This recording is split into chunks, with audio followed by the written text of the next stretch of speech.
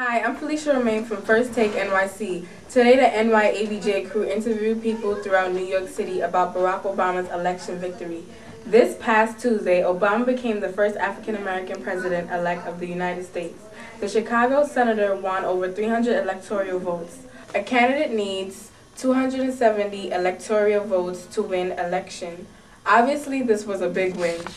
People are related about the upcoming president.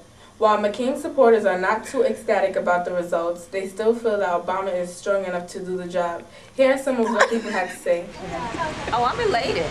I'm elated, and you never saw such long lines at the polls. It's like, I think it's really great because a lot of young people got involved, whereas the other elections, you know, it wasn't really that much involvement with young people, even though, you know, they had to Rock the Vote and all that stuff. So I am elated. I'm so excited. I was wanting this since like way before he even got the nomination and all this stuff. Like my friend is really, really, really like into Barack Obama. She worked for his campaign and she like got me into him and stuff and I was so excited. Uh, well, I'm not gonna say everything everybody say, oh my kid could be president, but mm -hmm. it is the truth and he make a lot of opportunity for a lot of us, you know, more open-minded and make you feel like you want to do something extraordinary.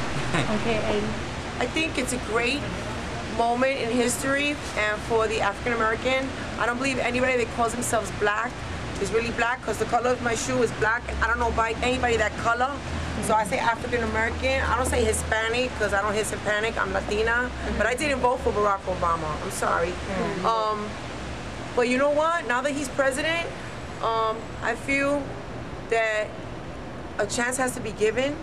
Um, perhaps he may take us in the right way, but you're always going to have people questioning because that's democracy. Mm-hmm. So right now, from what I heard in today's radio, I'm, I'm happy with with the, with the fact he's our president. I've, I've come to it. It took two days crying, mm-hmm. but I'm happy now. Um, me personally, actually, I feel like um, it's like the greatest thing that could happen right now for all people because why? Whether um, any true political change actually happens or if it doesn't, just off the strength it's a black man in office, it's a little Chinese kid in Chicago that wants to be an astronaut, that's going to be an astronaut because a black man is a president. It's a little Mexican kid in California and want to be on TV, and he's going to be on TV because a black man is president.